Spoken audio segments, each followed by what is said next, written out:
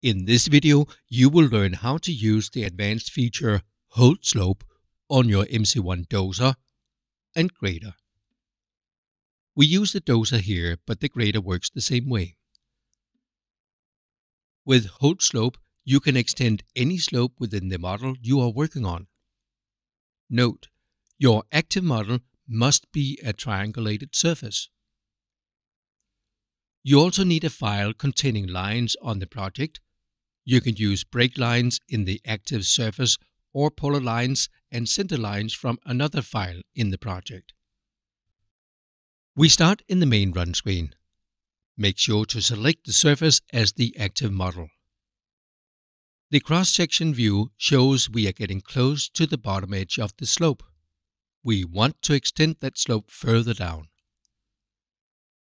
Press Main menu. Press Model Options. Go to page 2. Press the Hold Slope icon. Press Set Hold Slope.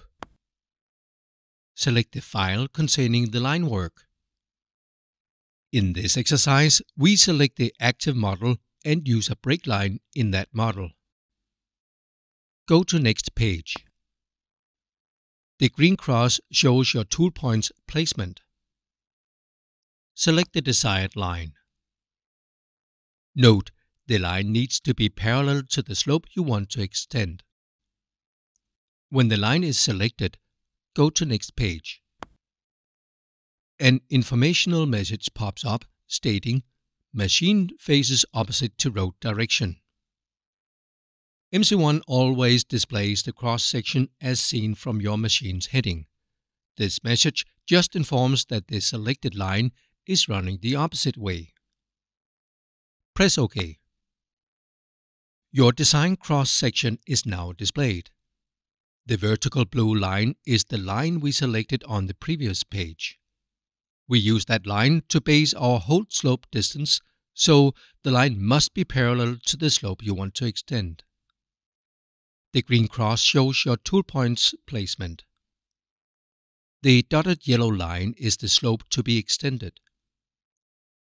You can tap on the cross-section view to extend another slope, or adjust the hold slope distance using the right or left arrows. Each step is 10 centimeters.